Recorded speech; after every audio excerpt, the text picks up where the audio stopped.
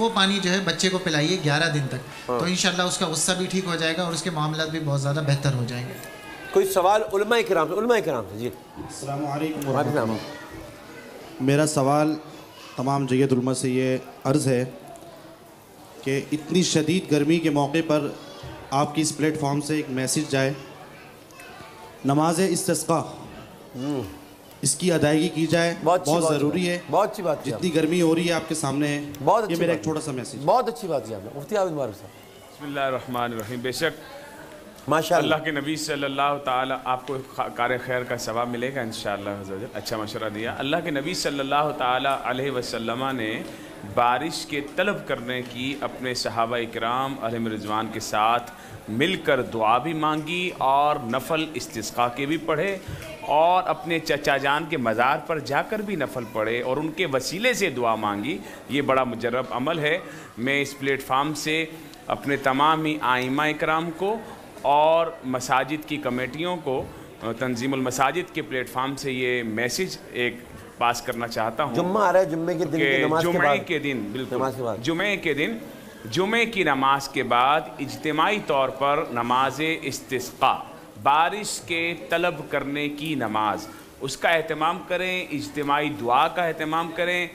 اس کو تفصیل کے لیے اگر دیکھنا ہے اردو کی کتاب میں تو صدر الشریعہ مولانا امجد علی اعظمی علیہ رحمہ کی کتاب بہار شریعت۔ اس میں بڑا آسان طریقہ اس نماز کا لکھا ہوا ہے، دعا بھی لکھی ہوئی ہے، یہ تعلیم کے لیے ہے۔ اور ہم سب ہی اس میں یہ میسیج دیتے ہیں ڈاکٹر صاحب کہ یہ سب لوگ اس کا اہتمام کریں۔ اور مجھے یاد آیا جب آپ بیان کر رہے تھے تو نبی کریم صلی اللہ علیہ وسلم جب میں لفظ ان کے لیے چھوٹا استعمال نہیں کرتا کہ جب وہ چھوٹے سے تھے کے لوگ جن دعا کریں کہ اللہ تبارک و تعالیٰ حضرت ابو طالب نے رسول اللہ صلی اللہ تعالیٰ علیہ وآلہ وسلم کو بلایا اور بلا کر ان کو بٹھا کر یہ ایمان تھا حضرت ابو طالب کا؟ یہ یعنی ابھی حضرت ابھی حضور تو بچپن میں میں اسی طرف آ رہا لیکن ہوں۔ اس وقت سے ہے۔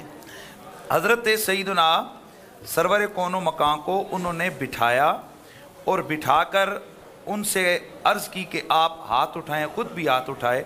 ابھی حضور کے ننے ننے گورے گورے ہاتھ اٹھے تھے کہ اللہ تعالیٰ نے رحمت کی بارش عطا فرما تو وہاں پر حضرت سیدنا ابو طالب نے رسول اللہ کی پہلی نعت یعنی جو رسول اللہ کی ابھی اعلان نبوت نہیں ہوا تھا تو اس سے پہلے وہ بچپن میں ہی انہوں نے نعت کے وہ الفاظ جو بخاری شریف کے اندر موجود ہیں آپ نے وہ پڑھے تھے کہ وہ اب یدو یستسکل غمام بوجہی سمال الیتامہ عصمت للاراملی، کہ نورانی سونے گورے چہرے والا پیارا، جس کے نام کے واسطے سے اور ذات سے، وسیلے سے بارش طلب کی جاتی ہے۔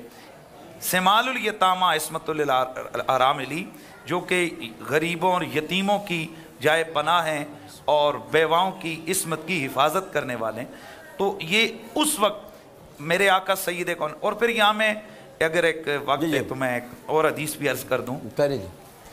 جناب حضرت سیدنا عمر فاروق رضی اللہ تعالیٰ عنہ کے دور میں ایک دفعہ قحط سالی ہوئی۔ تو حضرت عمر حضور کے چچا جناب حضرت سیدنا عباس رضی اللہ تعالیٰ عنہ کی خدمت میں حاضر ہوئے۔ اور آپ نے فرمایا کہ اے رسول اللہ کے چچا حضور جب تھے تو ہم ان سے دعائیں کرواتے تھے اور اللہ تعالیٰ ان کی دعاؤں اور ان کی ذات کے واسطے اور وسیلے سے ہمیں بارش عطا فرماتا تھا۔ تو آپ ہمارے لیے دعا فرمائیں تاکہ اللہ تعالیٰ ہمیں بارش عطا فرمائے۔ تو اب بخاری شریف کے اندر مختصر حدیث ہے اور ابن اساکر نے اس کو ڈیٹیل میں لکھا ہے کہ حضرت عباس نے عرض کی کہ اے امیر المومنین، اس میں میری، میں دعا تو کروں گا لیکن میری ایک شرط ہے۔ آپ نے فرمایا وہ کیا ہے؟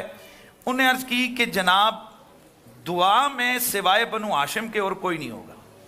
اور حضرت عباس رضی اللہ تعالیٰ عنہ نے بلایا حضرت علی المرتضیٰ کو، حضرت سیدنا امام حسن مشتبہ کو، حضرت امام حسین کو اور باقی جو بنو ہاشم کے لوگ تھے، سب کو کہا غسل کرو، نئے کپڑے پہنو، خوشبو لگائی۔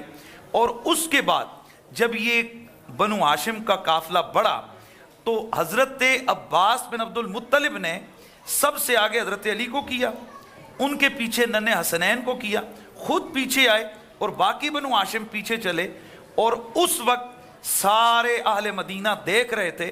بنو ہاشم نوا- نماز ادا کر کے جب انہوں نے ہاتھ اٹھائے تو اس دعا میں یہ لفظ تھے حضرت عباس کے، اے اللہ اگر تیری نظر میں بنو ہاشم کی کوئی عزت ہے تو آج ہمارے ہاتھوں کو خالی نہ لوٹا۔ صحابہ کہتے ہیں کہ ابھی واپس اٹھے نہیں تھے۔ کہ اتنی زور کی بارش ہوئی تھی ہر طرف جل تھل ہو گیا۔ میں کیا کہہ رہے کیا کہہ میں نے اس لیے آپ سے پوچھا تھا خاص طور پہ کہ حضرت ابو طالب کے بارے میں جب بات کی جاتی وہ تو